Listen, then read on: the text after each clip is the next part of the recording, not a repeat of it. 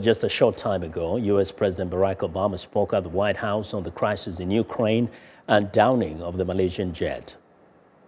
This was a global tragedy. An Asian airliner was destroyed in European skies filled with citizens from many countries. So there has to be a credible international investigation into what happened. The UN Security Council has endorsed this investigation, and we will hold all its members, including Russia, to their word in order to facilitate that investigation.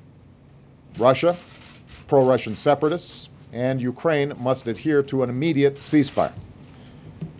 Evidence must not be tampered with. Investigators need to access the crash site, and the solemn task of returning those who were lost on board the plane to their loved ones needs to go forward immediately.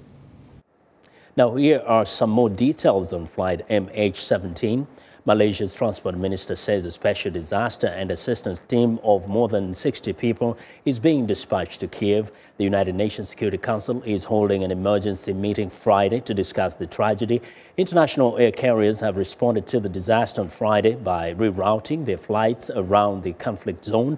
The Malaysian airliner is thought to have included more than 100 AIDS activists, researchers and health workers, mostly Dutch nationals, bound for Melbourne, To attend an international AIDS conference. Now, the International AIDS Society, host of the AIDS conference scheduled to begin Sunday, released a statement expressing sincere sadness and condolences to the families of the victims.